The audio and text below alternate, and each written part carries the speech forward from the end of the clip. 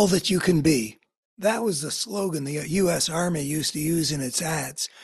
It's a good idea for everybody in their own personal life to realize their best potential. But more important uh, for America to reconsider today is it's a good idea for a society to help all of its young people be all that they can be, to realize their best potential.